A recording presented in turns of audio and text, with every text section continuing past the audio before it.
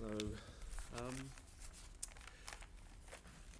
yeah. Um, my role in the commission, which I took up last May, um, was uh, as um, uh, an expert advisor. The commission does this. They're, the full-time commission officials um, from each of the 27 member states, it's all very equal. Big shortage of Brits out there, I might add, by the way, um, are essentially policy wonks, uh, sort of uh, regulatory strategists working for a political elite, 27 commissioners, so there are 27 directorates general because there are 27 member states.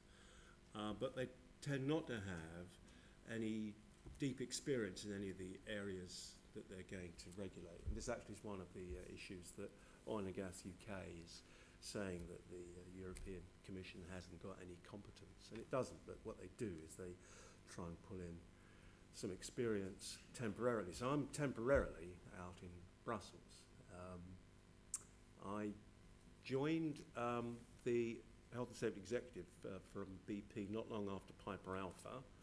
Uh, anybody in the industry at the time of Piper Alpha uh, will never shrug off, if you like, the effect of that, especially if you are British, because it was in the UK, it's the worst ever offshore disaster there has ever been.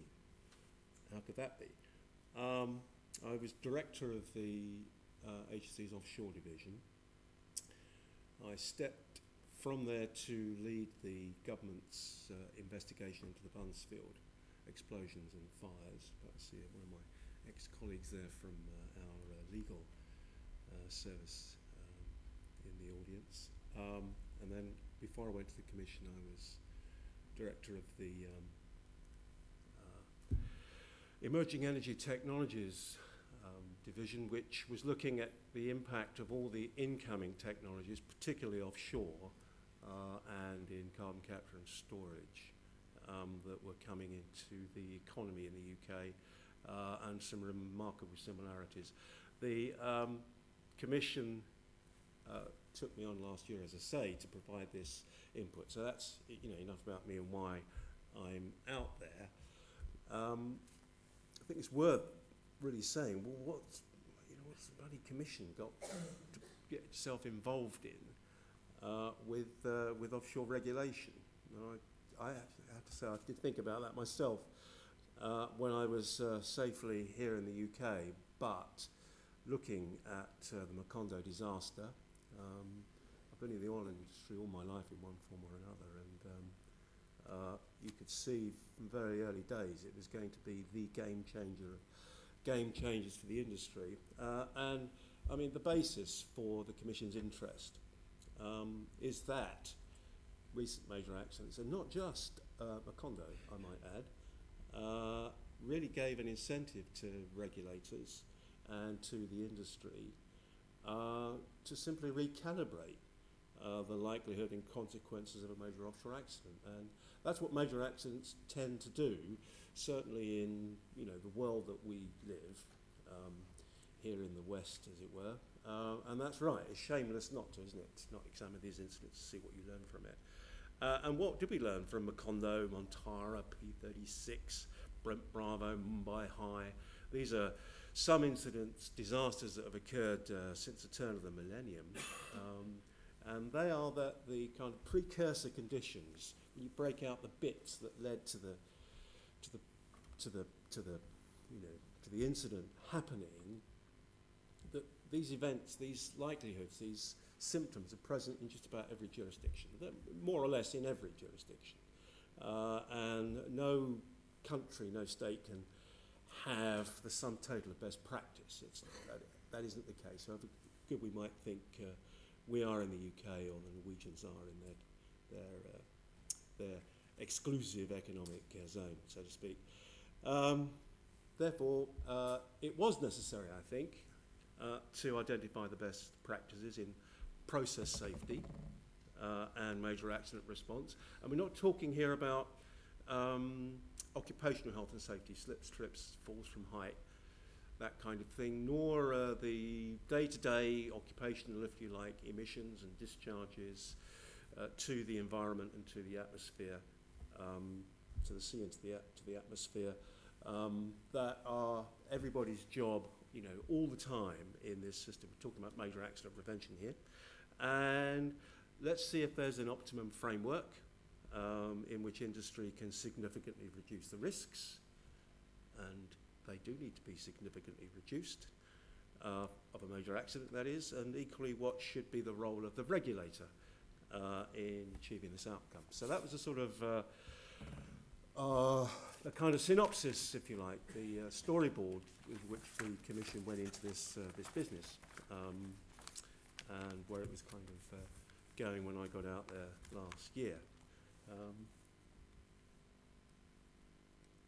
ooh, yeah. Okay. Um, just have a little look at this. What um, is going on in the European Union countries and around, you know, southern Mediterranean, um, you know, the Baltic, the Black Sea, and so on, um, Caspian. Uh, look at the concentration. Look at the deep blue bits as well, because these are our deep water areas. See how much of that there is. Uh, and I'll just give you a bit of context then. Um, uh, just a sort of handful of things to be thinking about while you saw that slide. Um, and that's that safety and environmental protection require uh, financial and intellectual investment, just like any other key part of your uh, major industrial business. Um, uh, that's self-evidently true, I hope you'll accept. Um, the offshore sector is not shipping, but it is definitely trans transboundary. Um, and, but in the European Union and even in the North Sea, where you think it'd be fairly homogeneous, um, there are very diverse standards uh, for regulation, uh, for equipment standards. Uh, some of the mobile rigs are classed as ships, are regulated under IMO.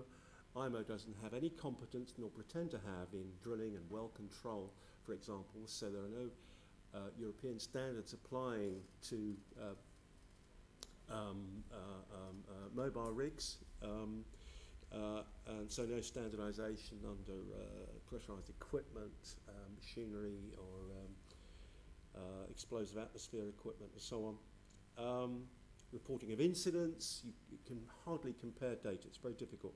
Performance measurement, integrity management of aging structures and so on, uh, nor for emergency response. Um, there's a wide diversity of um, of uh, standards and applications across the whole of the European Union, including the as I say. Um, and it's an increasingly changing industry. Uh, it has to do that to survive. Operates in 11 uh, European countries and Norway. Um, there's something like 150,000 kilometers, kilometers of exposed uh, coastline uh, in Europe. Um, 6,000 active wells. That might be a surprise to some people, actually. Uh, and 400 of those are in Italian and Spanish waters, so it's not only the North Sea.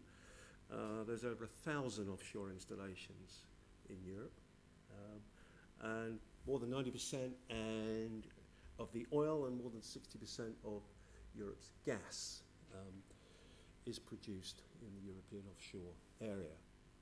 Um, and these days, um, everybody is concerned about safety and the environment. So it's not just the operators have got the responsibility for it, uh, regulators who uh, clearly have that responsibility, if you like, uh, to the state for um, underpinning um, uh, those protections, but the um, workers, the, uh, the supply side, coastal economies, businesses, and the general public all have feel they have some stake, and if they feel they have any democratic uh, institution, then indeed they do. Um, so offshore issues, therefore, uh, are strongly in the focus of the uh, Attention. And they play into these areas of competence of safety, uh, environmental protection, economic sustainability, uh, and security of supply. So that's the, that's the sort of operating envelope, uh, if you like. Um, so, how did the European Commission define the problem? Um, well, the likelihood of a major incident uh, is significant uh, and can be reduced. Therefore, it's unacceptable, isn't it? I mean, if it's, if it's of significance and it can be reduced, then efforts must be made to reduce those risks. So what, the likelihood thing, uh, what's that? Well, um, the Macondo incident uh, in uh, April 2010 was a game changer, I've said that already, uh, of world proportions. Everybody uh, took notice of it. Now, whereas there have been uh, a number of offshore incidents, I've already mentioned Piper Alpha, um, with a worth, worse death toll uh, than um, uh, Macondo. The scale of that disaster in the Gulf of Mexico, 11 deaths, total loss of the rig, um, about half a million tons of uh, oil discharge into the Gulf and uh, losses probably in excess, and I spoke to BP about this last week, in excess of 40 billion dollars, uh, exceeded in its sum total of environmental and safety impacts anything we've seen before. Um, now, however, uh, a previous disaster in the same region, in, the, in uh, Gulf of Mexico, in the Ixtoc field in Mexico, uh, in 1979 across to 1980, was confidently predicted at the time uh, to be the worst pollution that could ever occur. It Would never be seen again because, um, A, we've learned from this, uh, and because of improvements in technology and human uh, systems, um, it won't be seen again. And in fact, Macondo was considerably worse in deaths and pollution. And in global terms, I mean, ignoring all the quantitative risk assessment, probabilistic uh, safety uh, analysis, and so on, uh, between 1980 and 2011, uh, a major offshore disaster, a disaster, you know, total loss of assets, massive pollution, huge loss of life, that kind of disaster, um, has occurred every two years on average, and indeed there were five uh, that you can confidently say were in that category between 2000 and 2010. So it's not even a tailing off. Um, uh, coming to Europe in particular, uh, the oil industry enjoyed, which is completely the opposite to the right term, uh, its own uh, decade of shame in the 80s. I just think the oil industry had gone too far to know quite how to control the offshore sector that it was exploiting um, and growing into um, at a great pace then. And we had the Alexander Kielland in, uh, in uh, 1981 off Norway, which is a floating uh, hotel type rig alongside production platform in construction, Piper Alpha, of course, in 87, and there were 280 deaths in those two incidents alone. Um, and just uh, doing a reasonable quick count on the UK side, uh, there's a further major three accidents at least uh, that caused 10 deaths uh, in that same decade, and two major UK blowouts that uh, um, don't get a lot of publicity, but which didn't escalate uh, to extreme consequences. There's one death and 23 serious uh, injuries, uh, and a moratorium on uh, deep, uh, high pressure, high temperature drilling uh, in the UK side, which actually set that side of the business back um, a good seven or eight years, actually. Um, since then, in northern EU waters, there have really been quite a large number of incidents and near misses um, that have been precursors to major accidents that didn't quite occur. Um, there's an impact assessment. You're going to get a reference at the end of this presentation where you can go and dig out this information and have a look at it yourself because it's been assembled in the, um, in the uh, Commission archives there. But let's just look at UK and Norway, who've, I think, got the best regimes in the world. They, they, they spend the greatest amount of time and resource working together, uh, looking at their data, refining it, and publishing it, and doing what I would call proper risk assessments, um, going beyond the numbers into what's really happening, and they share similar deep and rough waters uh, in the um, in the northern North Sea and Atlantic, and levels of activity. Uh, and both report that uh, industry is not meeting its targets, its own targets, for reductions in safety risk, and furthermore that platforms are aging. Many of them are actually beyond their design life now, uh, and that the major companies are trading off their aging assets to smaller players and focusing their, the major players, activities uh, into the frontier areas of which um, there is little experience. And just to say something about the frontier areas, there's a huge economic, exclusive economic um, zone uh, around Europe. This is just the uh, EU, just the um, European Union countries. Uh, I mean, off um. Yeah, I mean, uh, Ireland, France, Spain, Portugal, uh, on the Atlantic margins there, and around, um, you know, the Canaries and the uh, North um, West African coast. Huge amount of deep water and potential big oil there. Ireland's just licensed 14 uh, areas in the deep water Atlantic with no experience whatsoever of doing that, and Portugal is very keen to join that. We know that uh, Cyprus has made some deep water dis gas discoveries here, hugely deep in terms of geology and in terms of water. And of course, there's quite an interesting geopolitical zone around here as well, uh, which uh, Cyprus is becoming involved in.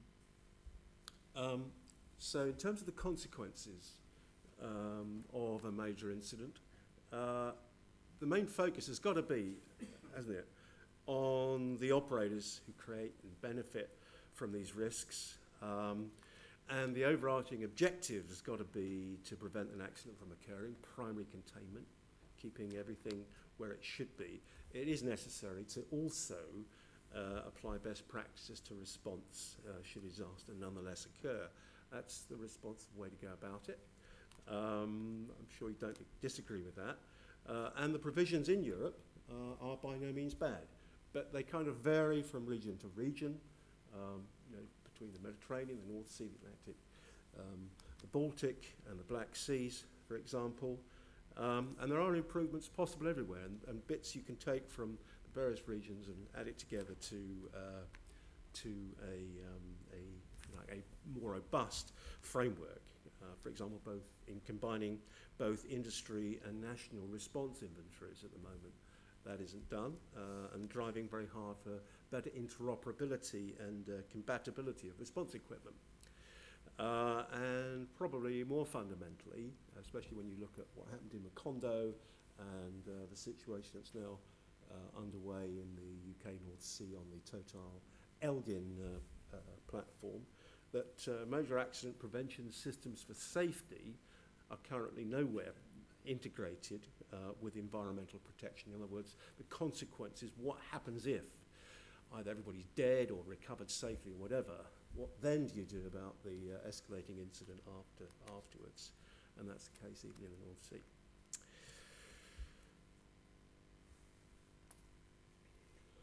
Okay, so the case for EU action, um, well, this industry, the offshore industry, in which I've been associated just about all of my professional life, is both responsible for and, cap uh, and capable of bringing off absolutely major miracles uh, of marine engineering.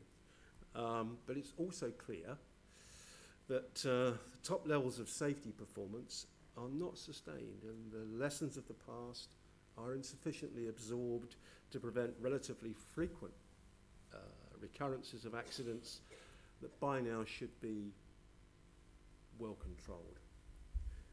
And we mustn't forget that the Deepwater Horizon involved, or the Macondo incident involved a major oil company, uh, state-of-the-art rig from the world's largest drilling contractor, global top draw con uh, contractors like Halliburton for the cement, Cameron for the BOPs, Sperry Sun for the well logging and so on, uh, and providing all the key services. The European Union uh, is quite blessed really with a concentration of uh, regulatory systems that are recognized globally as being very robust. But no single regime can claim to aggregate all of the best practices.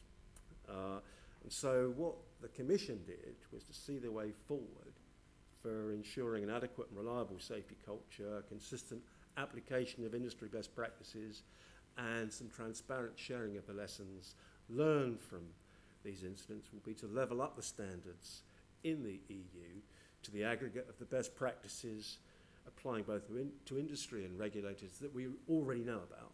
Um, and that broadly has been the approach. Um, what I'll do now, um, just quickly, is tell you how this has worked.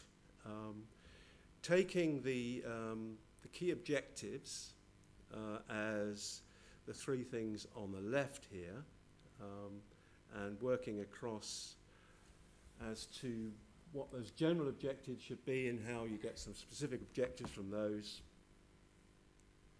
You're going to get these slides later, so I won't stick on them.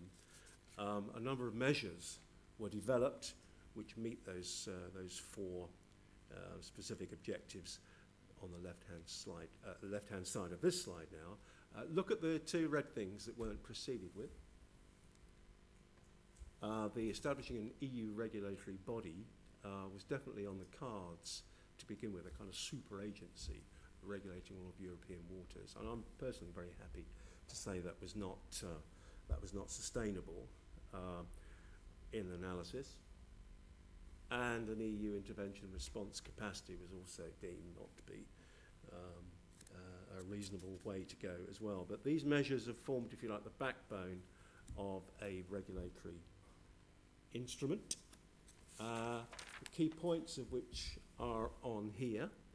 Uh, and these effectively are chapter headings in the, uh, in the draft regulation that's currently working its way through the so-called co-decision procedure. If you're interested in that, I can explain a little bit about that uh, questioning. But uh, so the general measures, um, risk-based planning and operations. If you would characterize the um, new EU regulation or the draft proposed legislative instrument it's, uh, it's a risk-based goal-setting uh, approach uh, operating, if you like, through what we in the UK know as the safety case approach, um, but combining environmental impact as well as uh, safety um, analysis in the major hazard scenario, uh, spotting and all the control measures that flow from that. Um, best practices by the operators and by the regulators. And for the regulators, that means forming up into a competent authority combining both safety and environmental regulators. It can be a many-headed beast. It can be, as we have onshore in the UK, the Environment Agency or the Scottish Environment Protection Agency north of the border, working with the agency as a competent authority under some very tight um, organisational arrangements regulating the major hazard sites, you know, chemicals, petrochemicals, refiners, and so on. Um, coordination and cooperation amongst regulators, um, uh, working to the highest standards for EU-based companies anyway when working outside of the European Union, um, integrated emergency preparedness and response, which you can do if you actually start to account for environmental impact in your major hazard scenario planning. Uh, and there are a number of technical annexes which give the thing a bit of solidity that it might otherwise lack. Um, we've heard about the uh, UK industry response. It's very different from the UK government response, I might add, but uh, uh, one of the things that's absolutely hated about it is that this is actually a, a regulation, not a directive. A directive um, sets a, the goal to be attained by the member states who then transpose it into national law. Um, and the same directives for offshore, for example, apply to all member states. Um, but it's really only the North Sea member states that have got anything like a regime that anything remotely resembles a directive on which they're based. Um, and some, some of the regimes that have offshore operations, uh, Bulgaria and Romania, for example, the Black Sea don't have any regulation at all. And the Irish um, regulatory regime, well, that's changing. Um, is almost a carbon copy of the, um, uh, of the prescriptive regime that existed prior to Piper Alpha, uh, where indeed it was borrowed from. Um, so the Commission decided that a regulation would be the best way forward. Uh, this is seen by the UK industry and the Norwegians. Um, uh, to a certain extent, the Danes, the Dutch are as ever much more pragmatic about it. Um, as the um, as the European Union getting its hands on our oil and gas, and that unfortunately has been the rhetoric. Um, and for all the um, admirable things that um, the trade associations do in the field of safety, environmental protection, and actually promoting good standards in the industry, there has been a lot more heat than light in the case that they're putting forward. Um, I, this is Mumbai High, by the way, and I just put that there to, to accompany the reaction of stakeholders. It has been, as I said, quite, uh, quite dramatic um, uh, over the regulation, uh, whereas um, the official government position in the UK and most member states, apart from, as I say here, from Germany and uh, Sweden, uh, two letter acronyms for those countries, DE and um, uh, think that the directive would help those member states with the most robust regimes already that, most, that are most alike to the new regulation, and the UK regime is particularly very, very close uh, to the uh, proposed European legislation, very, very close, and that means because European legislation trumps national le legislation that the UK fear that they're going to have to uh, actually repeal and then rebadge and rewrite much of the regulation and the guidance that goes with it and so on, causing an unwarranted and, and, and uh, uh, uh, uh, undermining effect on UK law. Commission thinks otherwise, but that debate's ongoing, and I'm sure it will get somewhere in the end. Um, but uh, some countries, and the NGOs in particular, think there sh it should be a strong regulation because the weaker countries are just hiding behind the coats of the um, North Sea countries say, yes, we want a directive as well for the same reason as they do, but frankly, the story goes that's because they don't want to do anything about um, improving uh, the regimes in their areas for one reason or another. They think it might discourage further investment in their territory, or they just think it could be um, remarkably expensive.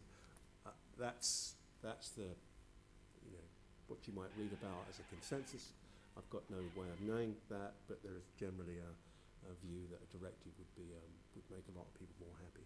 Broadly speaking, um, where this proposal has gone is through the uh, discussions in the council. The council represent the, the represent the uh, governments of the union. It's currently uh, headed up by Denmark. Denmark is the uh, has the presidency, and they've produced a second further draft of what the commission produced and it's all very positive. They're doing a progress report now and handing over to Cyprus, very interesting. Cyprus just getting into the business. And at the turn of the year, they'll hand over to Ireland as the presidency.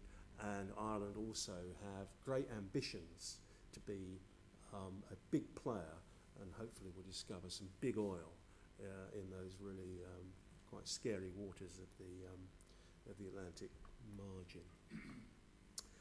One thing that positive that has happened already is that the out of this regulation in its first form, the um, Commission just took a decision for itself because they have the competence to do this, to form up and, uh, an EU offshore authorities group comprising the um, um, regulators for the environment and safety uh, around the European Union. Um, and it's already had its first meeting. This is the uh, purpose of the group. I think it's going to be very good, and uh, I'm delighted to uh, report that uh, my successor in the UK has uh, taken over as co-chair on behalf of the member states at the first meeting, um, and they are uh, now building their agenda for um, exercising uh, influence over how the Commission and the rest of Europe proceeds, and also to give some, I think, forced magnification to what countries can do on their own to the big global companies um, that uh, dominate the industry. So I've got really high hopes for how they might perform. This is the uh, Danish uh, Tyra field, by the way. Nice picture. Um, so uh, finishing up on Brent, actually, uh, on a windy day. Uh, and I noticed uh, on this, and those that have been offshore will be familiar with these conditions, they are something else but the, the, the camera's got his back to the wind, and there's absolutely no way you'd be able to hold a camera straight if you, straight if you were uh, facing straight into it. So I find that quite a nice picture Thank you very much for your attention. And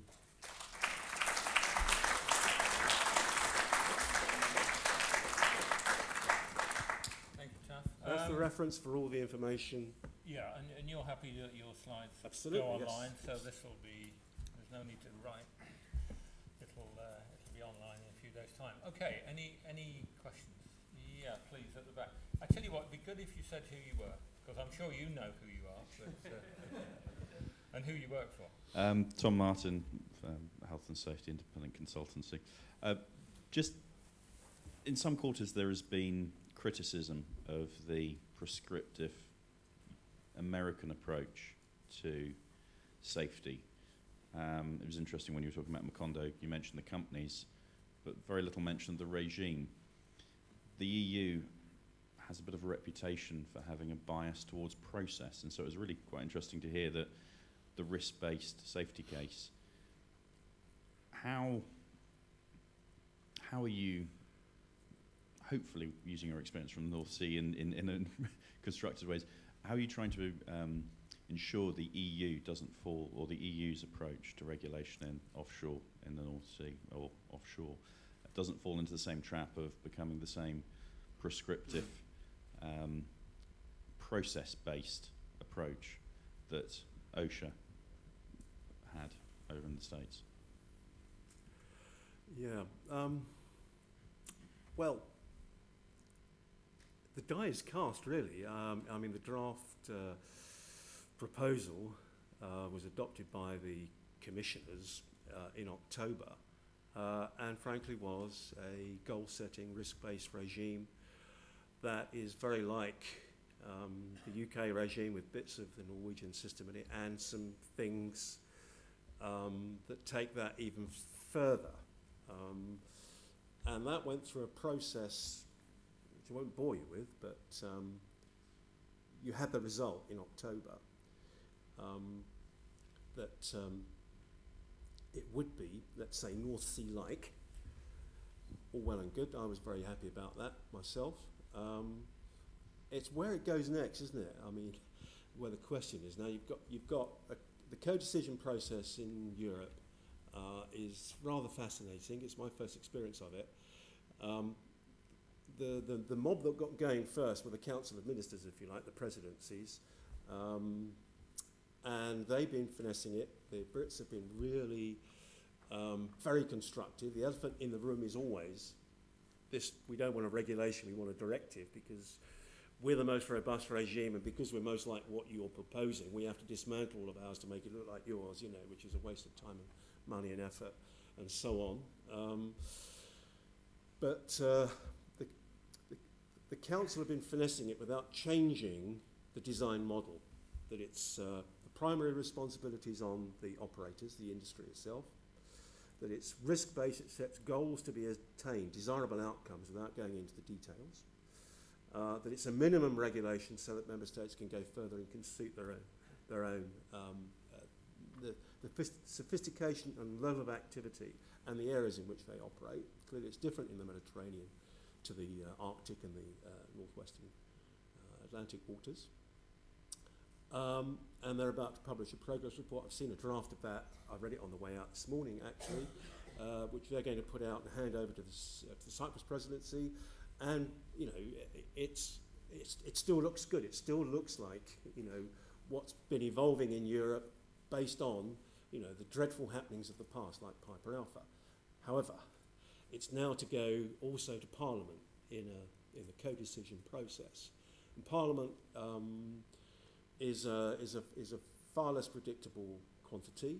Um, there are three committees have, have got bits of it. Um, some parts of, uh, there's the environment group in which the environmental NGOs like Greenpeace, Bologna, uh, and so on uh, are, are very powerful. And it's groups like that that want to keep a regulation, uh, are pushing very hard for it, and are also saying that there needs to be a European super regulator and that there needs to be more detail and that member states can't be trusted because look at the state of the North Sea, you read the reports, look at Elgin, blah, blah, you know, major companies. Um, it's time that Europe actually regulated this from the centre.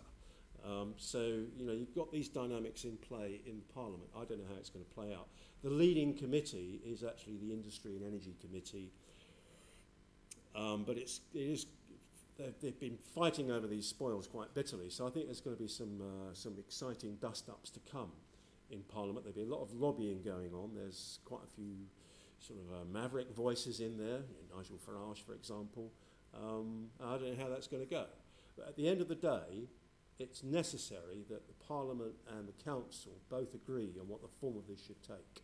I think there may be, for example, more things in, come into the regulation about workforce participation, um, uh, worker consultation and so on. The environmentalists want more public participation in things like licensing, which um, you know could get quite interesting. But um, at the moment, all well and good that we're on that course that you um, seem to be in favour of yourself. And, and you would say just a, this will be a regulation sometime in 2030, that sort of time? Well, I've never been through this before. I mean, I'm amazed at you know that uh, how quickly and slowly at the same time they work, how things happen in uh, Europe. It, I, I'm, it's still fairly mysterious to me, but uh, I think. Um, no, I don't know. I, I, I think there's a good chance that it be finished under the Irish presidency, yeah. Uh, depends how much priority is given to it now by the Cypriots, but they, they've actually said last week that it's their second highest priority after uh, energy pipelines, which um, is their top one. So it could be even this year, but I would suspect next year. Couple over here, Carl. Oh, you've got the mic. Yeah. Hi, Stephen Brooker from Bond Pearce Solicitors. Um, Taf, you and I had some problems with the COMAH regime during the Buncefield case. Do you think the lessons learned about the inadequacies of the onshore COMAH regime are going to be resolved?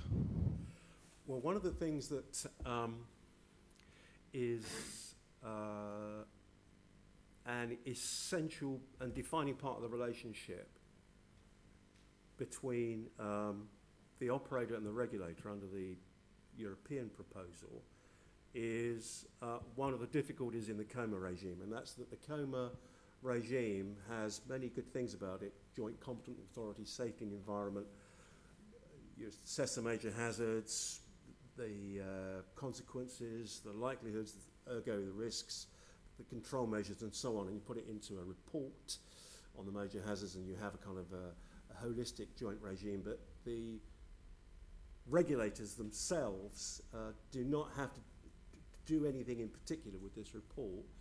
Um, in the offshore proposal, the UK offshore practice, which is unique in Europe, of actually uh, taking a safety case, thoroughly assessing it within a, a uh, within a, a, limited time frame, and accepting it, uh, and accepting only it, so that if, if it's unacceptable in some form, then it gets sent back and it's recycled until eventually it becomes acceptable. That's the process being proposed by Europe. And that's going to be different, for example, for the Danes and the Dutch and the Norwegians, if the Norwegians indeed come on board this. They're not in the European Union, but they're in the uh, um, European Economic Area, and that normally means that they do follow. So um, uh, the other um, the other prevention, I think, is the um, is third-party verification, Stephen, uh, which I think um, that, that's a second pair of eyes. It, it actually can be second-party verification.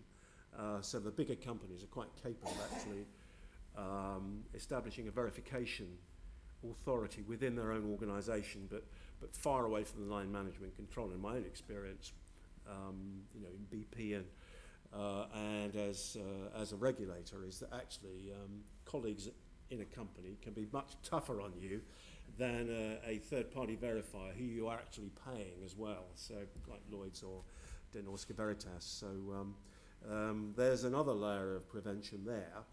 Um, and um, I think the wording of the regulation uh, avoids some of the, dare I say it, sort of Reg 4 ambiguity and COMAH in the UK, which uh, is about taking all necessary measures and so on, which then needs qualifying. That doesn't mean doing everything possible as opposed to doing everything that's reasonable. Um, so I think we've kept a weather eye open actually for um, some of the some of the issues that came out of the uh, Seveso directive. uh, which has been re- rewritten as well, as you know. Okay, got another question here. Uh, Conor Ryan, Tullow Oil. Um, Taf, can you comment um, a bit more on the kind of uh, the, the liability and the compensation elements um, of the regulation? And uh, I'm thinking here of the impact that would have on the ability of smaller um, operators to explore, particularly, for example, in the Irish offshore, where Yeah. a lot of smaller companies are a bit worried about that. Yeah, yeah, and, and you've got a very powerful uh, lobby in Ireland actually, which is preventing, uh, you know, uh, a m- more rapid development of the reserves that you have up the uh, west coast there. Um, this is a curious one, this, because um, it's like uh, God damn BP and God bless BP, wasn't it, in, in uh, Macondo, because uh, they had the capacity to get into that mess, but they actually had the wherewithal, both technically and particularly financially, to get out of it uh, and to come up with all this money um, and they could raise a lot of cash very quickly. They got they raised six billion dollars in, in suitcases from um, Standard Chartered, and actually, you know, took the cash uh, and just started doling it out. Uh, there's not many organisations can produce that kind of clout.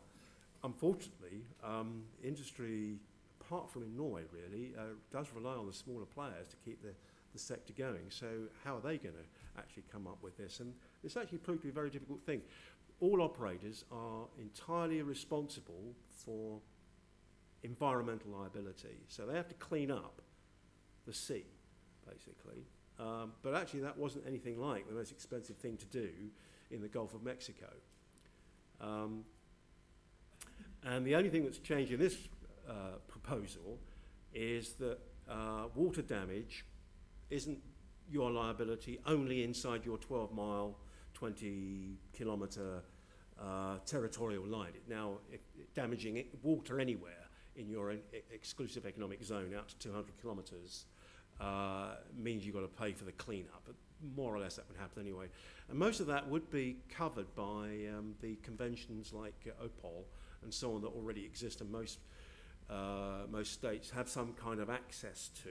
The big issue is economic damage damage to coastal economies, ship, uh, fishing, and so on. Um, and that's, uh, that's a real problem. And there's really nothing on the market. There is no inst- market instrument that can actually cover the kind of losses that we now have to calibrate for after Macondo.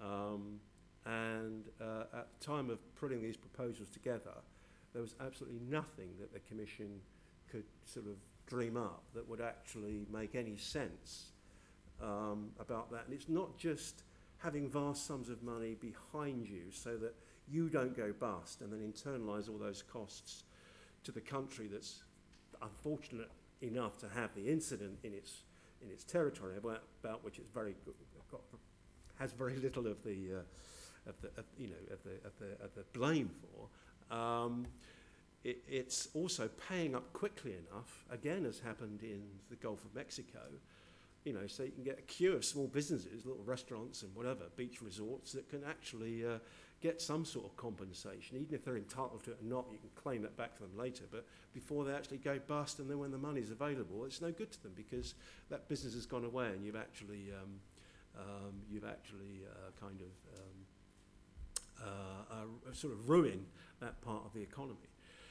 Um, so there's the issue of paying up quickly enough as well. And that's so complicated because, uh, you know, in the, the civil claims areas of all member states is so different, it's so complicated um, that, uh, you know, under commercial law um, uh, that might apply across the member states and so on. So what actually we're doing at the moment, there's, there's in the official journal, there's um, a tender document that's been out, um, I think the tenders are due in in about a month, uh, to do some research into what kind of hybrid of pooling instruments, insurance on the market, and other things, guarantees, uh, can be compiled, if you like, to create uh, a traditional damages, it's called, traditional damages compensation scheme that will actually continue to uh, give uh, states and their neighbours some kind of confidence that uh, they're not actually um, sitting on a uh, sitting on the sort of edge of ruin, if you like, if you remember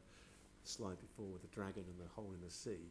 Um, just waiting for something to go wrong and not having the financial wherewithal to cover that. Very complex though, and the member states like Belgium that don't have any offshore industry are really on the case here. They're really saying that the other, you know, like the North Sea countries like Netherlands and the UK just aren't doing enough, and the Commission's not doing enough. But it's really, really difficult. Let me, let me ask, that, that was one question that was kind of within your slides. One, one other was, I think the first time, and it's now probably eighteen months ago, I heard somebody talking about this, this, this, uh, directive uh, or regulation. They were using the word extraterritoriality a lot, and that, that was, what they had there was the notion that not only would this apply within EU, EEA waters, but actually would be applied to any company that was domiciled in the EC. Yeah. And is, is that kind of where you understand it to be? So when, if you're operating in, I don't know, Sierra Leone, and we're headquartered in, uh, in The Hague, uh, this would apply?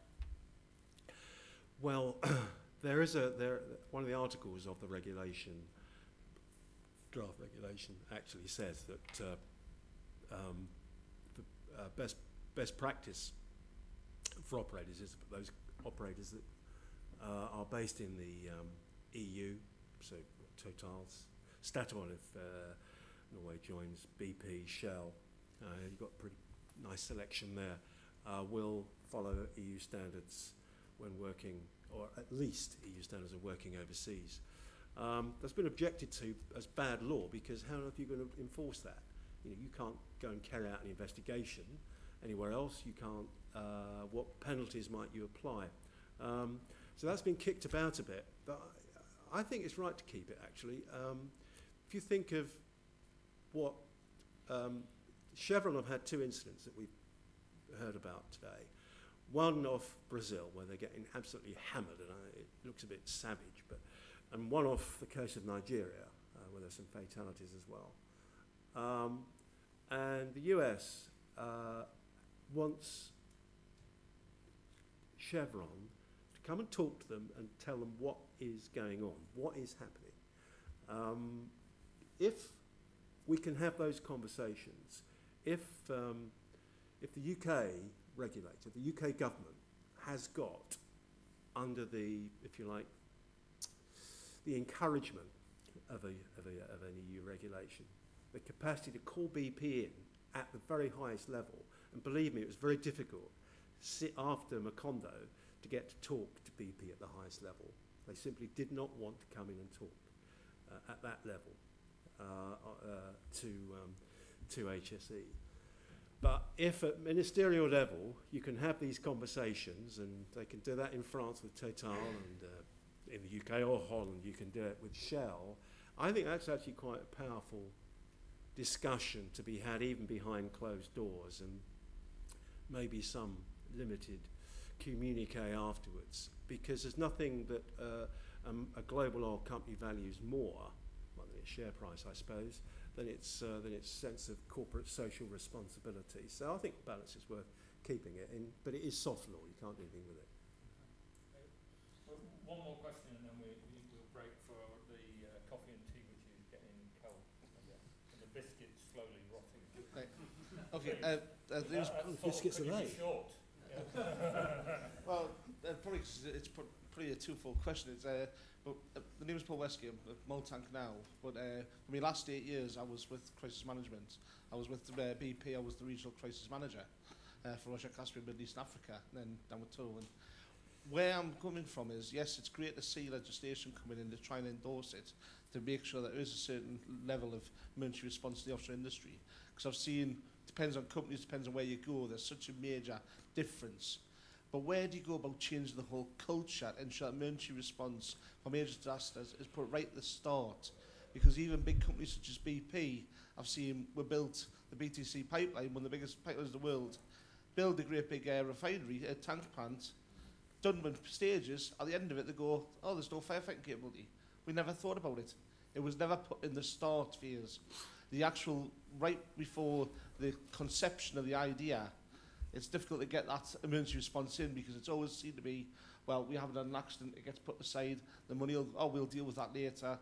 And especially now we find, after this has happened, it's two years now, companies are starting to go, it's not a big event now, we can forget about it, we can divert more money towards health and safety, we don't need to go towards this, you know, response to emergency management. How do we get that whole culture changed within the industry? Yeah. One of, um, I, mean, the industry changes its own culture by wanting to, uh, and you've got to, and you need line of sight, don't you, from from the board uh, down to the you know to kind of the far reaches of your operation.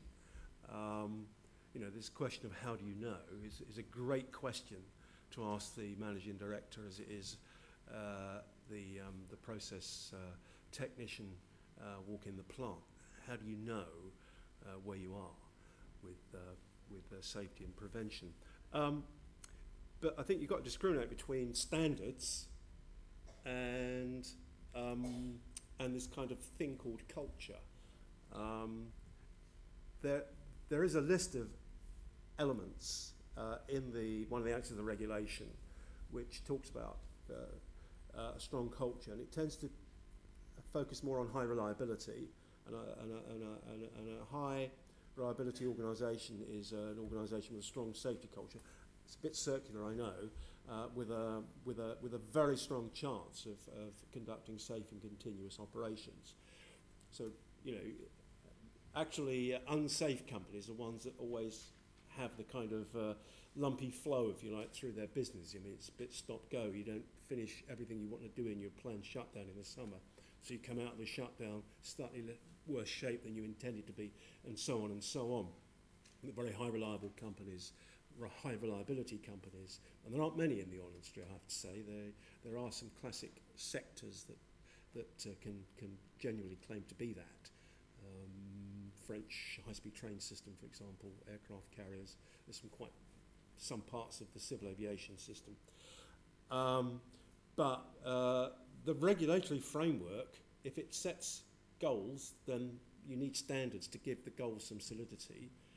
And if it's comprehensive enough so that it doesn't stop short at just when everybody's dead or off the platform, that's the end of it, there's a consequence, the response to it. And on Elgin, of course, they have the intriguing prospect, uh, which is not in the safety case for that platform, of having got everybody off in a, with military precision, in a very very uh, good-looking exercise to evacuate 238 people, no mean feat in the North Sea, without any incident at all, but they've got to get them back to actually deal with the incident.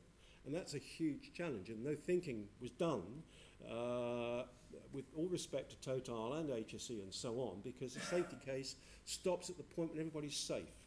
Um, the, the more holistic regime envisaged for Europe is that actually you'll be thinking of the consequences from that point onwards. And this was actually the, uh, the worst blowout in the North Sea for um, 35 years. I mean, it was gas mainly, but of condensate, so not oil, but uh, so you've got to go back to um, Ekofisk uh, Bravo in 1977, 35 years before, to actually see something like that. I mean, for, for, for, for uh, how many, uh, 50 odd days blowing out at something like 200,000 cubic meters a day, 120 tons of gas a day. It's quite a big big, big, big uh, bill. Uh, but every, all the thinking for that had to be done afterwards, which is the point you're making, I think, so that, uh, that needs to be up front.